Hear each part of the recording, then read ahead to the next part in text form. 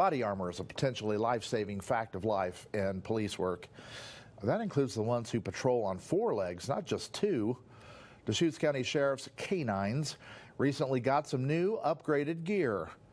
Kelsey McGee met today with deputies and a police dog to learn more about that gear. Kelsey? Lee, the special dogs were fitted in some upgraded body armor that just might save their lives one day.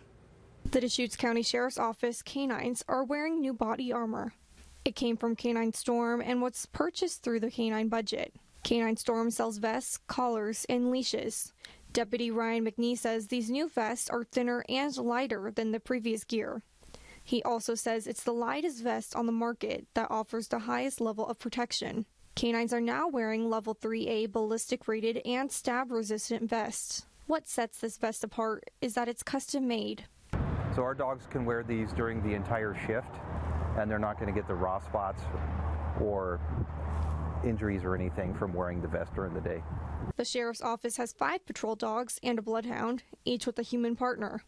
The plan is to outfit all the patrol dogs with the upgraded gear. Send our dogs into uh, situations where there's uh, chance for injury just by the uh, environment, uh, under crawl spaces in houses, uh, you know, construction sites with rebar and sharp objects poking out. Um, there's just a myriad of things we ask these dogs to do, uh, and they need protection as well as we can protect them.